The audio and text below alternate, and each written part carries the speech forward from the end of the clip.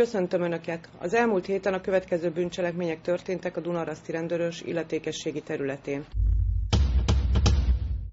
Eljárást folytatunk ismeretlen tettes ellen, aki április 21-éről 22-ére víradó éjszaka egy Botond utcai családi ház udvarából ruhanemüket tulajdonított el, valamint az ingatlan előtt az utcán parkoló gépkocsi benzincsövét elvágva abból üzemanyagot tulajdonított el.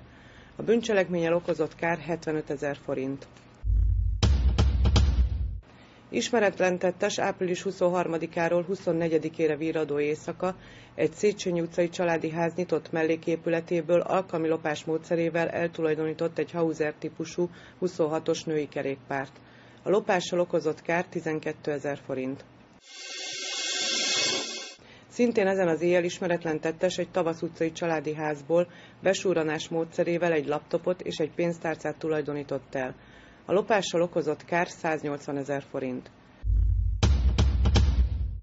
Ismeretlen elkövető április 25-én a Taksonyi Általános Iskola egyik irodájából alkalmi lopás módszerével egy női táskát tulajdonított el.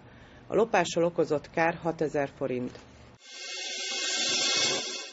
Eljárást folytatunk ismeretlen elkövető ellen, aki április 28-án hajnalban Dunaraszti főútján a Kálvária domnál található kápolna villanyóráját leszerelte, és azt eltulajdonította. A lopással okozott kár 35 ezer forint. Ezek voltak a rendőrség elmúlt heti hírei, köszönöm figyelmüket, viszontlátásra!